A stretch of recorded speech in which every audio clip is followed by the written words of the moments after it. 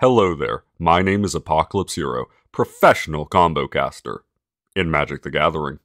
And comboing in Magic the Gathering is quite the fickle pickle, what with blue players trying to counter your combo, red players trying to beat you up before you can combo, and black players trying to rip the combo out of your hand. So every moment counts. If you're going to eke out a win, the quicker, the better.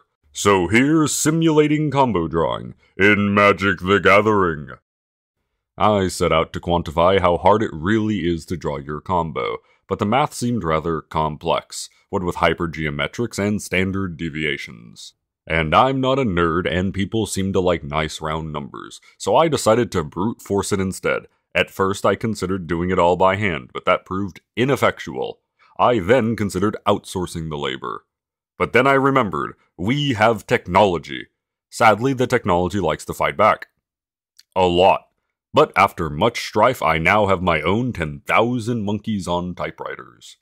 Let's first determine the odds of drawing any particular card. Assuming you have one copy of said card in your standard 60 card deck, it will take 30 draws on average to get that card. If you run two copies, it will take 20 draws. If you have three copies, it will take 15 draws. And if you're running four copies, it will take 12 draws on average. Keep in mind for all these numbers that you draw 7 cards at the start of the game. Hold on, you might say. Why are we basing this off of a 60 card deck? Because the inflated cost of cardboard is borderline highway robbery. I meant to say for consistency.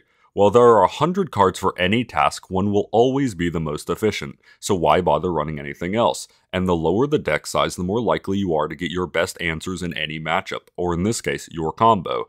If you insist on knowing the numbers for larger deck sizes, though, the math is simple. If you make your deck 50% larger, it will take 50% longer to draw any particular card. Moving on to the meat and potatoes. A single card isn't much of a combo, so let's get to the numbers on some real combos.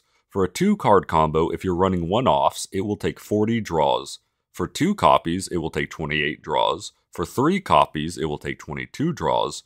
And for four copies, it will take 17 draws on average. But what about a three card combo? This is what most people would consider the upper limit of logical comboing in Magic the Gathering, and for faster formats, this is totally unviable. Nevertheless, time for some numbers. With one copy of each combo piece, it takes 45 draws. For two copies of each, it takes 33 draws. For three copies of each, it takes 25 draws. And for four copies of each, it takes 21 draws. But what if you're feeling crazy? What if you want to summon Exodia, a 5 card combo? First off, wrong card game. Second off, if you ran single copies of each of the five cards, it would take 50 draws. Doubles would take 38 draws, triples would take 30 draws, and sets would take 25 draws on average.